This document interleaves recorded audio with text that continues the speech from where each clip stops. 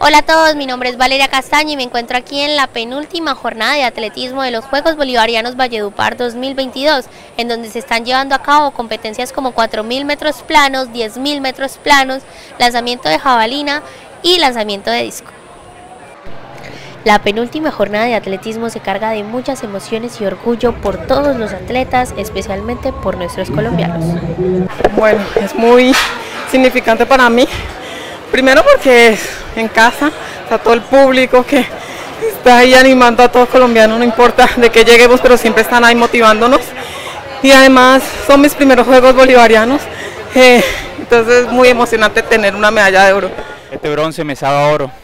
Hace dos meses me desgarré líquido. Esta parte de aquí graduó y vine entrenando duro, duro, duro. Como te dije, me sabe oro porque fueron nada más dos meses para poder recuperarme pero gracias a mi Dios, mi familia, mi entrenador, que estuvieron ahí, que me dieron la fuerza para poder estar aquí.